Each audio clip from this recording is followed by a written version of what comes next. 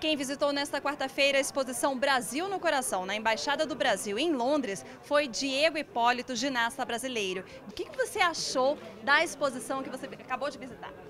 Ah, achei muito interessante, né? Mostra um, um pouquinho aí do Brasil aqui em Londres. A gente tem uma Olimpíada daqui a quatro anos que a gente tem que tentar fazer algo tão, tão bonito quanto foi aqui em Londres. Eu acho que o Brasil tem total potencial para isso, é uma nação que a gente é muito calorosa, a Olimpíada lá vai ser uma Olimpíada com, com um, um, amor especial, porque a gente já vê que a gente está em Londres e a gente é muito bem recebido aqui. O povo brasileiro tem tudo, tudo isso de recepção, acho que vai ser muito legal. As Olimpíadas iniciadas, como você tem visto o desempenho da, delega da delegação brasileira como um todo? Acho que o Brasil é uma está se tornando uma grande potência, nós temos grandes atletas, tem grandes surpresas, atletas mais experientes.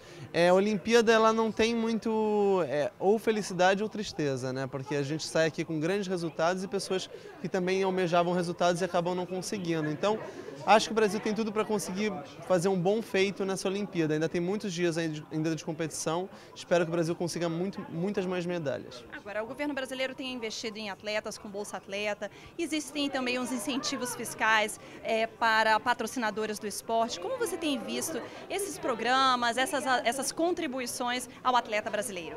É, evoluiu bastante. Eu acho que de alguns anos para cá a gente vê que tem um incentivo muito maior perante todos os atletas, não só os atletas de categoria de base, mas também os atletas de alto nível.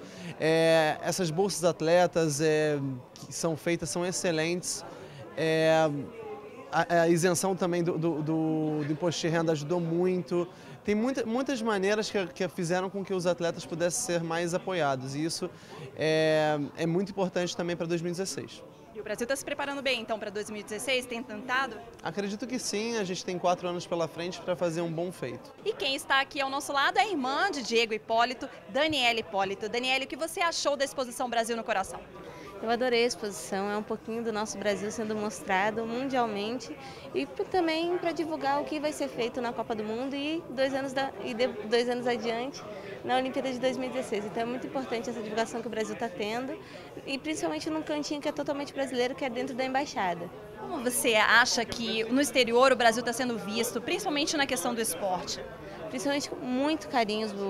As pessoas do mundo inteiro recebem a gente com muito carinho, até porque sabem que quando vão para o nosso país são muito bem recebidos. E você acha que o Brasil está se preparando bem para 2016?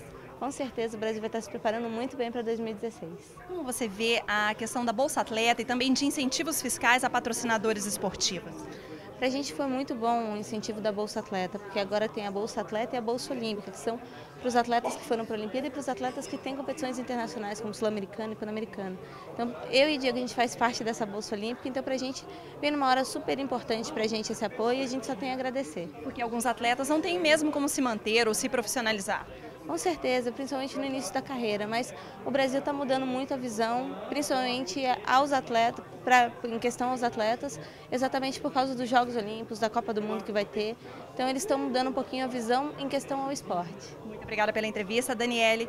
A exposição Brasil no Coração, aqui na Embaixada do Brasil em Londres, está aberta até 2 de setembro. Foi aberta agora, no início das Olimpíadas. De Londres, Daniela Almeida. Thank you.